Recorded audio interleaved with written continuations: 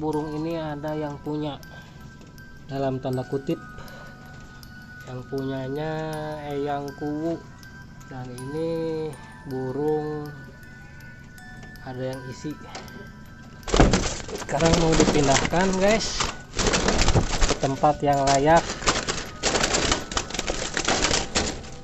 Bismillahirrahmanirrahim. Bismillahirrahmanirrahim. Ini udah sering mengambil korban ini burung-burung burung-burung di rumah yang sudah dipelihara. Banyak yang juntai. Kita satukan aja sama ini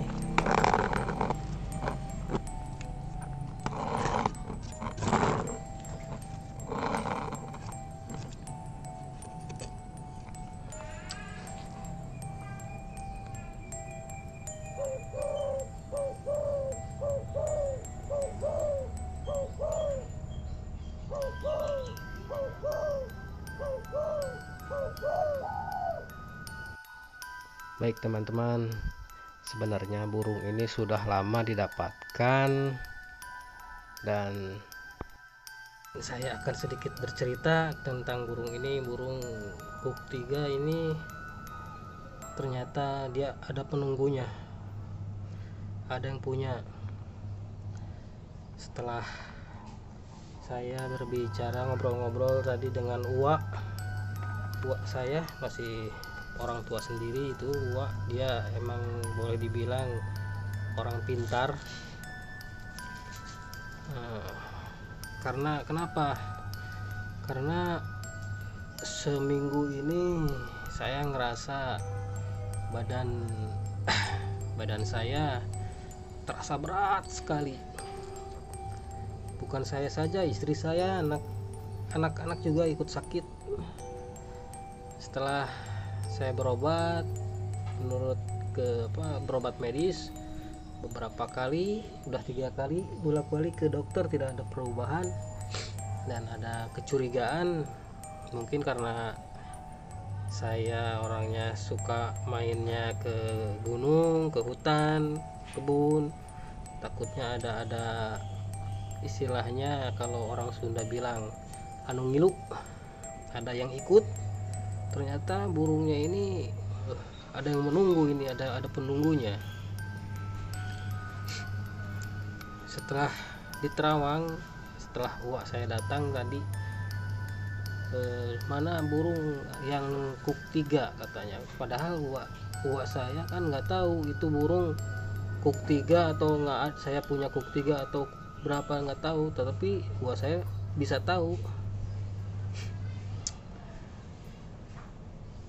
setelah saya tunjukin ya bahwa ini adalah eh, burung ini ada yang punya. Dan setiap saya punya burung bagus pasti mati. Burung-burung yang langka itu pasti mati. Nah, tapi katanya kalau mau dipelihara nggak apa-apa asal rawatnya yang benar-benar saja. Oke. okay itu mau percaya atau tidak ya tidak apa-apa. Ini hanya sekedar cerita saja teman-teman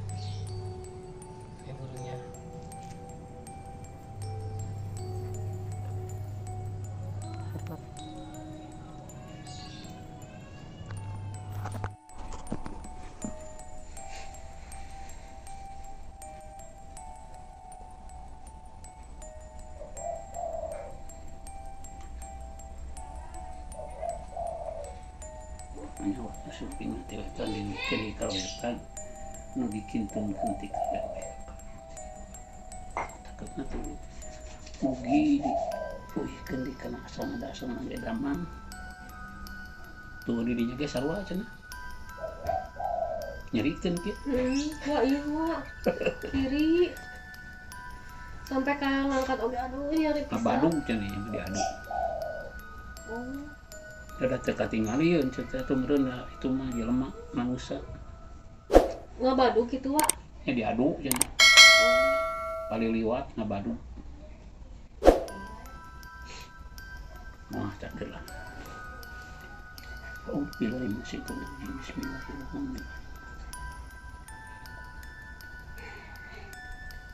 yang ini ketika mengerti itu dipulangkan ke asalnya masa nanti letan balikan ke letan tiki dua kaki dua. Tinu jauh tinu dekat nak mau ini Allahu Akbar. Allahu Akbar. Allahu Akbar. Allahu Akbar. Allahu Akbar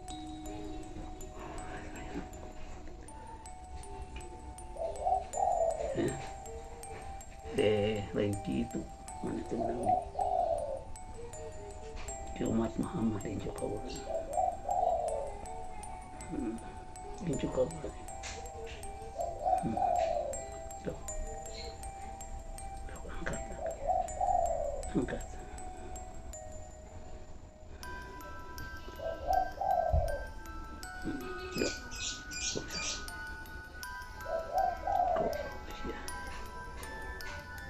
Nama kepipiluan mana sih?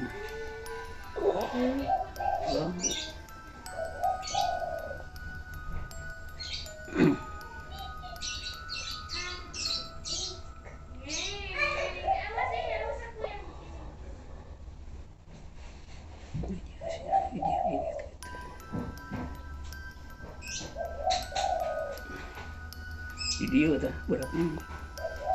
berarti sama wa nah didinya sama pisah Gitu. nyeri ya teh Wak. Hmm? nyeri Eh, oh, kenapa oh, mana urut nunggu.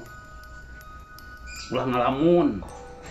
Mun digawe teh kudu konsen. Wah, yang ini kita deh.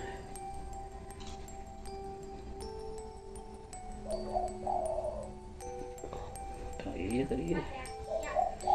Berat bener ini.